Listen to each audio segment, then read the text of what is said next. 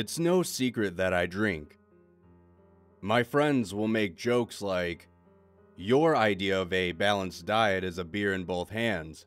I'll laugh with them, but I don't miss their pitying smirks. When I'm out, I'm out to have a good time though.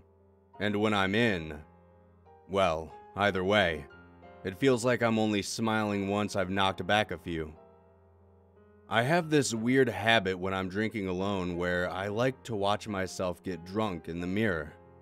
I start off by seeing this drab, aging slob, and I'll make a game out of drinking until he looks happy. I'll grin and make faces and watch myself laugh, and wonder why I can't be like this all the time. I can steal a few hours from reality until my girlfriend gets home from work, and then the bickering starts.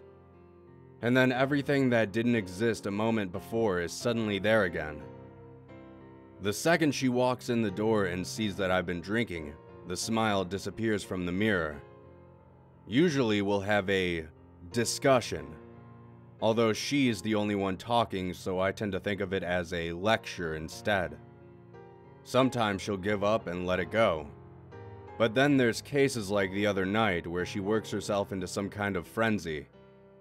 I guess I had forgotten to pick her up. I knew it was my fault and I apologized, but that didn't matter. Nothing I said got through to her anymore. It was like she couldn't even hear me. And she just kept getting louder and louder until all the words morphed into one long angry blast, not ceasing until the door slammed behind her. It was just me and the mirror after that. So I took another drink and watched it smile. A big, large smile, too.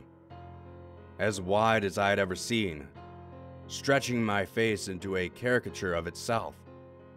It would have been heartwarming to see if I really had been smiling. I turned my head slowly from side to side, watching the mirror from my peripheral vision. The man in the mirror turned too, matching my movements exactly giving me full view of all of its leering teeth. Meanwhile, I felt my own closed mouth with my hand just to be sure. The mirror was smiling. But I wasn't. That unnerved the hell out of me. It was a wake up call. I emptied the rest of the bottle down the sink and went to lie down for a while. The weird thing was that I didn't feel that drunk though. I was walking straight, thinking clearly. I was barely even buzzed. Lying there in the dark and thinking about what happened wasn't any better. I felt like I was going to start sobbing. After about an hour of tossing and turning and hating myself, I got up to use the bathroom and looked in the mirror again. I wanted to see myself smile, even if it wasn't real just to know that it was still possible. I was even more sober than last time. I could feel the miserable weight of it. My reflection, though, a coy dimple at first, but before my eyes it was stretching into a beaming grin. I touched my slack, loose face again with both hands, then reaching out to touch the smile in the mirror. My hand tensed into a rigid claw. I didn't feel glass. I felt the warm, tightly pulled lip, the stubble of its face, the curve of its chin. My hand slipping through the mirror as though it wasn't even there. I wasn't afraid exactly, more mesmerized by something so far beyond my understanding. Then, when my reflection turned to walk away. It felt like part of me was leaving with it. I watched myself exit the bathroom on the other side of the glass. Now the mirror showed an empty bathroom. My reflection now gone. I touched the glass again and felt the cold, smooth surface. I was about to try and sleep whatever this was off. But then I heard the door open. She's back. She changed her mind. Suddenly, the mirror didn't matter anymore. I raced through my apartment faster than a kid on Christmas morning, stumbling to a halt when I reached the living room. It was empty. The door was locked. No one had entered. But then I heard her voice. Look, I know I said I wasn't coming back, but. Her voice was coming from behind me, sounding muffled almost as though she was speaking underwater.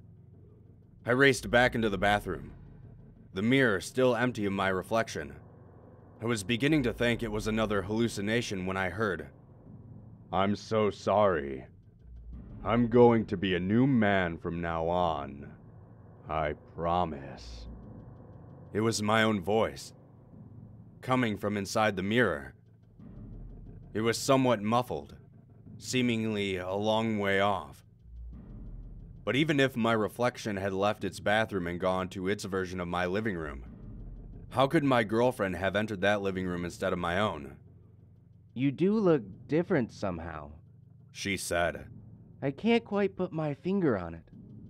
Unless, of course, I had changed places with my reflection somehow.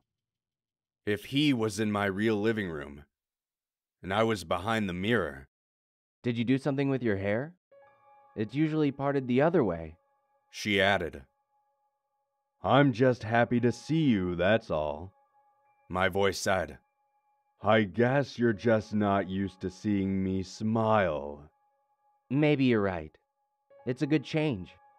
I had climbed onto the counter at this point, an inch away from the glass, but still no reflection. I mapped the entire surface with my hands, then harder, pounding my fists against the mirror, watching the whole pane rattle against the wall. Hello! Can anyone hear me? I shouted. If they could, they made no sign. I heard them talking softly for a while. Then she started to laugh. I don't remember the last time I heard her laugh. I was getting desperate by this point. I wanted to smash the mirror into pieces, but I was afraid that would block my only route home. I sprinted back into the living room, threw the door open, searching for something, anything to make sense out of this madness.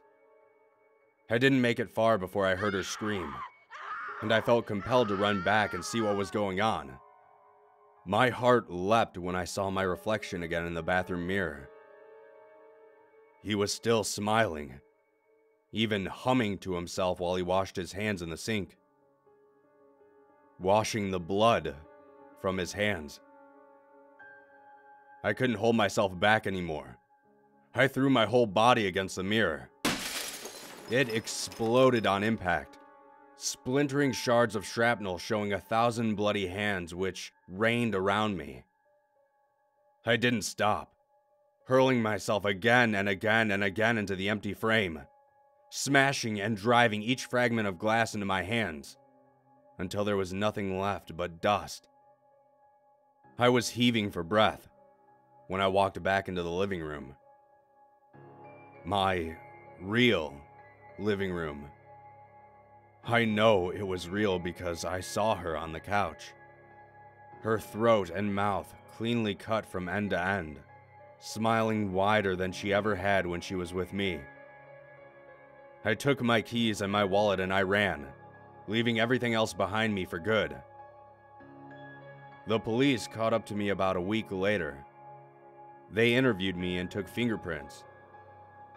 But apparently, the prints on the knife didn't match mine. They were completely backwards, in fact. I haven't had a drink since that day, but God knows I've wanted to. I guess I'm just too afraid to look in the mirror one day and see myself smiling